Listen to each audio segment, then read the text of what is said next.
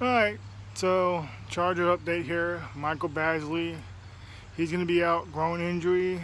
We're going to have T.Y. Long replace him as our kicker. And as you know, he already missed some kicks during the preseason. So I'm not really happy about this at all. Hopefully he's not out too long. I don't want him to come back prematurely. But hopefully he's not out too long. We shouldn't really need him though for the uh, Colts game. Hopefully we get good yardage if we have to have some field goals to be in field goal range. 30 yards or something like that, 40 yards maybe. But I don't like the fact that uh, he's injured. I don't like the fact that we're going in with too many injuries already. I don't like this at all. But that's the Chargers update. Michael Badgley's out. T.Y. Long's in. And hopefully week two, week three, week four, or whatever, he'll be back when we need him.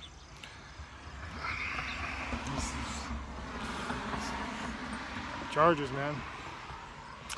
Bolt up.